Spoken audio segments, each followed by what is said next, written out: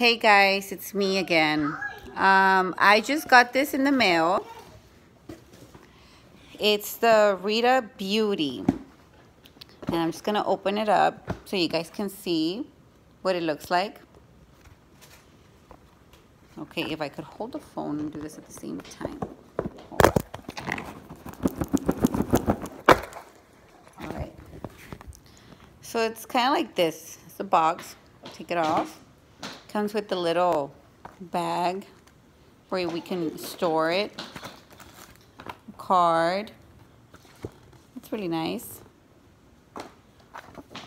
And I guess it's the just a manual on how to use it. Okay. I guess these are the glasses you're supposed to use just to protect your eyes.